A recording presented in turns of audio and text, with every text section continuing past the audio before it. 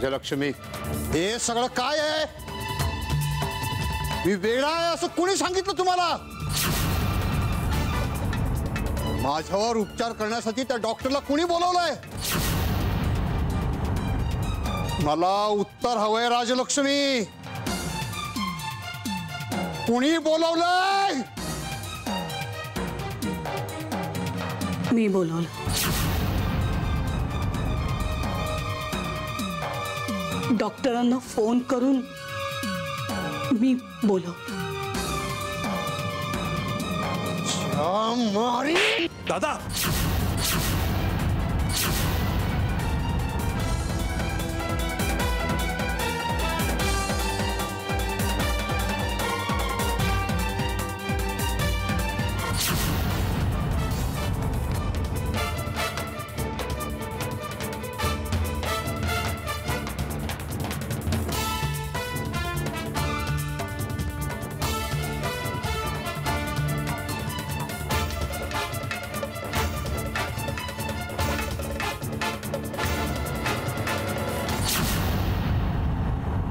नाही आई बाबांनी हात उचललाय तुझ्यावर.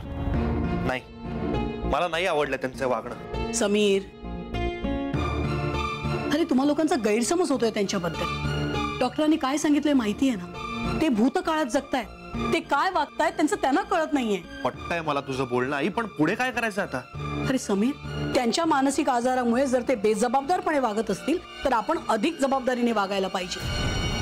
खास करून तू. तू त्यांची काळजी घ्यायला हवीस. ते जर घराच्या बाहेर पडले तर ताबडतोब त्यांच्या मागे जायचं. कायम तुझी नज़र असली पाहिजे त्यांच्यावर.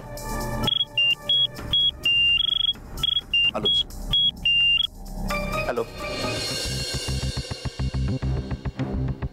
कल्याणी समीर एवढीच तुझ्यावर पण जबाबदारी आहे. हे घरात असताना कायम तुझं लक्ष असायला हवं. मी लक्ष ठेवीन बाबांवर सासूबाई. लक्ष ठेवण्याचा विषय निघालाच तर एका गोष्टीची आठवण करून द्यायची होती. बोल ना. मी असंच श्वेतावर लक्ष ठेवण्याच्या बाबतीत तुमच्याशी बोलले होते. ह्या सगळ्या गडबडीत ते राहूनच गेले सासूबाई.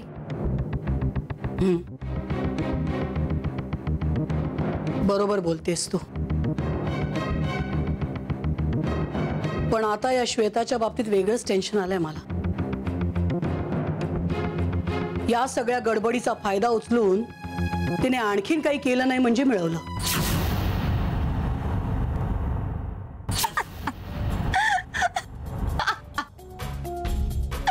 आई पाहिलंच ना आज तू. दुनियेच्या कानाखाली वाजवणाऱ्या अक्का साहेब आज त्यांच्याच कानाखाली पडली खाड कान. मला खूप मजा आली. आणि हे सगळं कशामुळे शक्य झालं? फक्त माझ्यामुळे. मी प्लान केला आणि तो सक्सेसफुल झाला.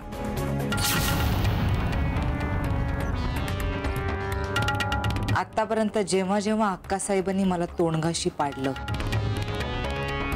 तेव्हा तेव्हा तुझ्या समोर येऊन रडले मी आई. बस. आज मी खळखळून हसते मला खूप मज़ा आली. एक्झॅक्टली कसं वाटतंय सांगू तुला? काळजावरती कोणी असा बर्फाचा दगड ठेवल्यावर कसं वाटतं? शांत, थंड. अगदी तसं वाटतंय मला.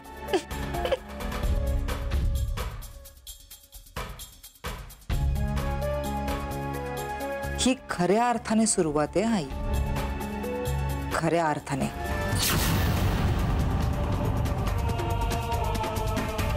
अक्का साहेबांना कोणी धडा शिकवणारा असेल ना तर तो तिचा नवराच आहे. आणि त्या नवऱ्याचा कसा वापर करून घ्यायचा that I know very well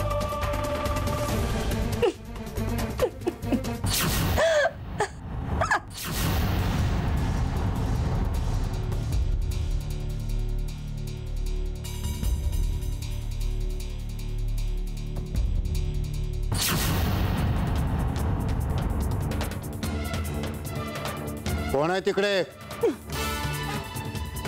मुकाट्याने बाहेर या नाही तर मी येईन ना तिकडे. आणि मी तिकडे आलो ना की मग? अरे पाहुणे म्हणून आलात ना इथे तुम्ही? पाहू पाहू पाहू पाहू पाहू पाहू पाहुणे पाहुणेच पाहुणेच मग पाहुण्यांसारखे राहा ना. जेव्हा बघावं तेव्हा टिवल्या बावल्या करत घरभर हिंडत असतात. अरे देवकीच्या नात्यातले ना तुम्ही? हो हो हो. हो देव देव- देवकी काकूंच्या नात्यातले. काय नक्की नातं काय तुमचं आणि देवकीचं?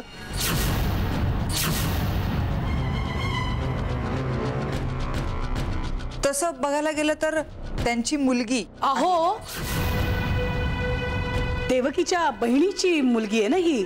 म्हणजे देवकी हिची मावशी. मावशी म्हणजे आईच नाही का? हो. ते तुम्ही कुणी असा रे?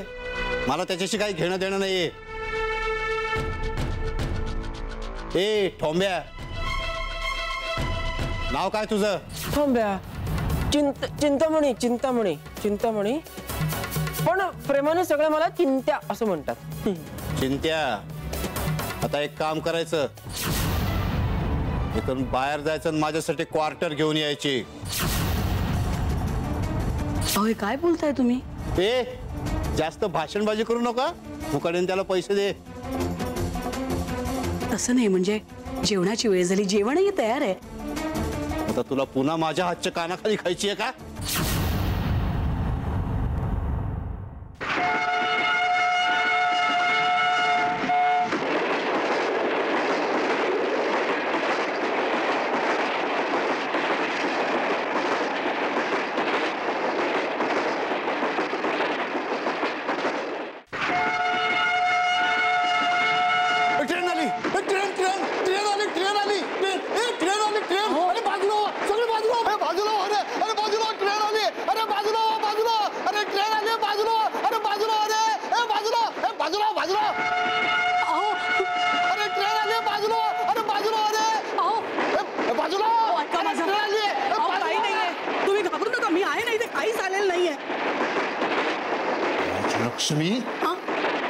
हे सगळं तुझ्यामुळे झालंय अहो, काय बोलताय तुम्ही तुला माफी नाही मी मी तुला माफ करणार नाही माझं ऐका ए, अरे बाजूला ना ए बाजूला अरे ट्रेन आली अरे ट्रेन ट्रेन आली ए बाजूला ए बाजूला ए बाजूला ए बाजू ए बाजूला ए बाजूला ए बाजूला ट्रेन, ट्रेन. अहो, ट्रेन आली, ट्रेन. ए, बाजूला आली. ए, बाजूला आली. ए, बाजू बाजू ए, ट्रेन ट्रेन. ट्रेन, बाजू बाजू बाजूला बाजूला ट्रेन आली ट्रेन ट्रेन ट्रेन बाजूला ट्रेन आली ट्रेन ट्रेन ट्रेन बाजूला बाजूला काही नाही काही नाही काही नाही बघा काही नाही काही नाही काही नाही काही नाही हा काही नाही या या या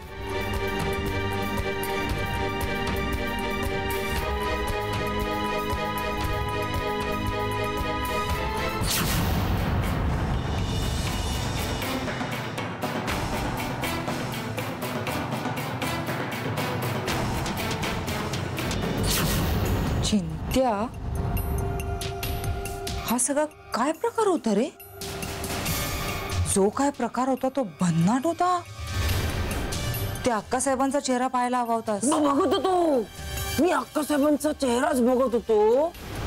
आजपर्यंत इतका भेदरलेल्या घाबरलेल्या अक्कासाहेब मी कधीच बघितल्या नव्हत्या. किती टेन्शन मध्ये आल्या होत्या अक्कासाहेब. हम्म, हे सगळं काय घडतंय ना? मला काही कळतच नव्हतं. मला आठवत आहे हे बघ. आधी तुझा फ़ोन वाजला. हा. तू रिंगटोन म्हणून ठेवलेला ट्रेनचा आवाज़ त्यांनी ऐकला. आणि तो ऐकल्यानंतर ते अचानक विचित्र वागायला लागले. जणू ती ट्रेन हॉल मध्ये येते अशा आविर्भावात त्यांनी सगळ्यांना बाजूला व्हायला सांगितलं. आणि मुळात म्हणजे या सगळ्या प्रकरणामध्ये ते अक्का साहेबांना जबाबदार धरत होते. म्हणजेच हे सगळं प्रकरण एखाद्या ट्रेनशी रिलेटेड आहे. आता एवढी मोठी रिॲक्शन आहे म्हटल्यानंतर हे प्रकरण हे खूप मोठं आहे. आणि सगळ्यात महत्वाचं म्हणजे अक्कासाहेब यामध्ये इन्व्हॉल्व आहेत. थोडा विचार करून बघ ना. आपण एक छोटासा प्लान केला तर त्या अक्कासाहेबांच्या कानाखाली बसली. ट्रेनचा आवाज ऐकला तर त्या जयवंत काकांची अशी अवस्था झाली. चिंत्या जर आपण हे सगळं प्रकरण काय आहे हे जर शोधून काढलं तर? तर काय? अरे कल्ला होईल कल्ला. त्या अक्कासाहेबांचं जगणं मुश्किल होईल. त्यासाठी आपल्याला हे ट्रेन प्रकरण काय आहे, हे शोधून काढायला हवं.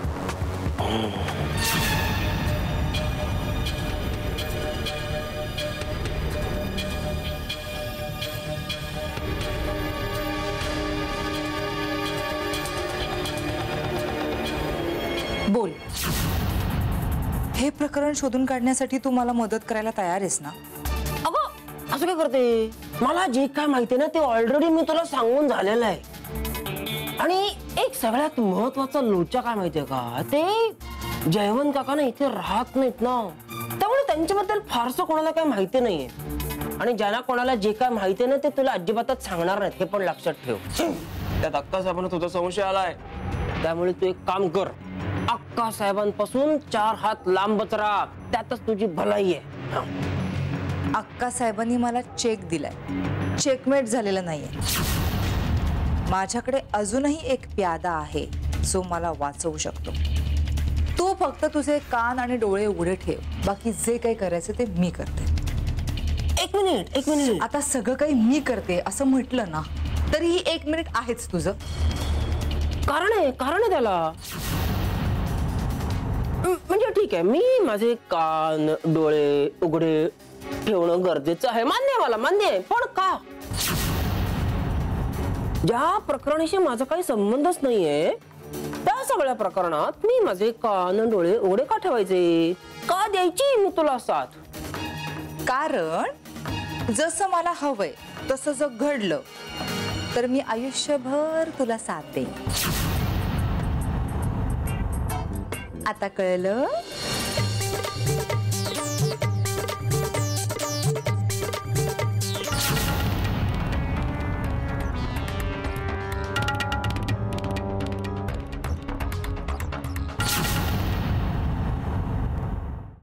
तुम्ही तरी सांगा ना प्लीज़ जयवंत काका असं का वागत होते?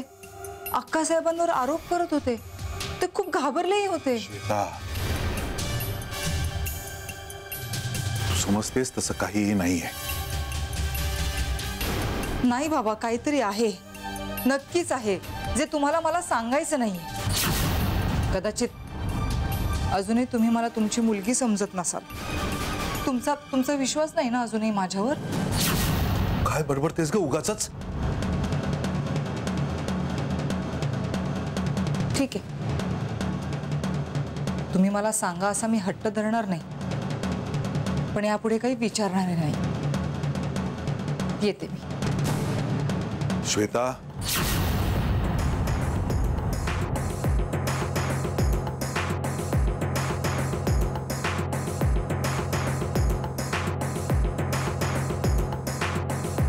माझी मुलगी आणि या घरातली एक सदस्य आहेस.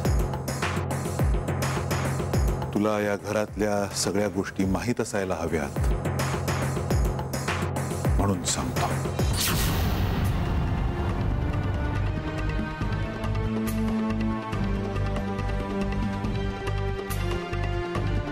सरदेशमुख हे काही फक्त आपलं आडनाव नाही. कोल्हापुरातल्या अत्यंत यशस्वी उद्योग समूहाची ती एक ओळख आहे. दादासाहेब सरदेशमुखांनी उभा केलेला उद्योग. कागलमध्ये थोड्याशा जमिनीपासून सुरुवात करून आज हे साम्राज्य उभं केलंय दादासाहेबांनी. दादासाहेब सरदेशमुखांना दोन मुलं. जयवंतराव सरदेशमुख। आणि मी, यशवंत सरदेशमुख। मी तसा लहानपणापासूनच अभ्यासात रस घेणारा. जेवढं शिकायला मिळेल तेवढं शिकायची तयारी असलेला. शाळेत पहिला नंबर कधी सोडला नाही मला कळायला लागल्यापासून जेवढा जास्तीत जास्त वेळ मला दादासाहेबांबरोबर घालवता येईल तेवढा मी घालवायला लागलो. त्यांच्याबरोबर ऑफिसमध्ये कारखान्यात सगळीकडे. बिझनेस कसा करावा? फायद्या तोट्याचं गणित कसं मांडावं? माणसं कशी ओळखावीत? हे सगळं शाळेत शिकण्यापूर्वी दादासाहेबांनी शिकवलं. माझी अभ्यासातली हुशारी आणि बिझनेस मधला माझा इंटरेस्ट पाहून दादासाहेबांनी मला परदेशात पाठवलं. शिक्षणासाठी. पदवी घेऊन मी भारतात परत आलो. उत्साहाने आणि जोमाने दादासाहेबांच्या खांद्याला खांदा लावून बिझनेस मध्ये उतरलो. दादासाहेबांचा अनुभव त्यांची माणसांची पारख आणि माझ्या डोक्यातून आलेल्या नवीन संकल्पना. दादासाहेबांनी व्यवसायाच्या लावलेल्या रोपट्याचा वटवृक्ष कधी झाला हे आमचं आम्हालाही कधी कळलं नाही. पाहता पाहता सरदेशमुख उद्योग समूह फक्त भारतातच नाही, तर आंतरराष्ट्रीय पातळीवर नाव कमवू लागला. बाहेरच्या लोकांना वाटत होतं की दादासाहेबांसारखा सुखी माणूस या पृथ्वी तलावर नाही. भरलेलं घर आहे, एवढा ऐश्वर आहे, भरभराटीस आलेला उद्योग व्यवसाय आहे. पण त्या बाहेरच्या लोकांना हे माहित नव्हतं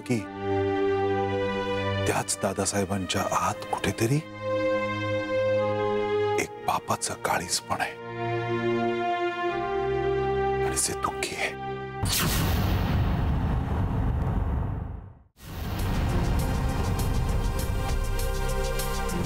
पण बाबा, तुम्ही तर त्यांच्या अपेक्षेनुसारच काम करत होतात ना?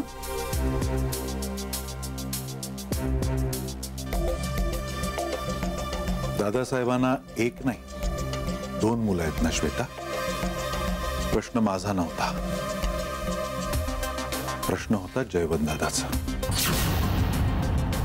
जयवंत दादा माझ्या अगदी विरुद्ध, म्हणजे शिक्षण अर्धवट सोडलेलं, चुकीच्या माणसांची संगत, त्यामुळे दारू, जुगाराचं व्यसन, वागणंही बेफाम.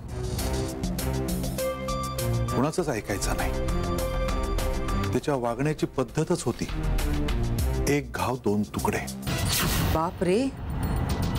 काका एवढे डेंजर होते. दादासाहेबांव्यतिरिक्त दुसरं कुणीही अख्ख्या कोल्हापुरातलं जयवंतदादाच्या थाऱ्यालाही उभं राहायचं नाही. खरं तर जयवंतदादा डॅशिंग होता. हँडसमही होता. पण अख्खं कोल्हापूर तिरस्कार करायचा दादाचा. ह्याच कोल्हापुरामध्ये एक व्यक्ती होती. जिला दादाचे फक्त गुण दिसत होते. आणि दादाच्या आकंठ प्रेमात बुडली होती ती व्यक्ती. राजलक्ष्मी घाडगे, तिचं नाव.